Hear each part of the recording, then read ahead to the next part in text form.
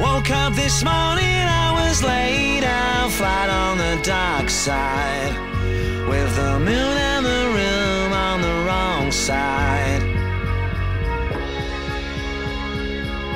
I took a needle, saw myself right back at the seams. I saw my universal gleam. I see the wonder and love for the one. Just taking a walk in the sun.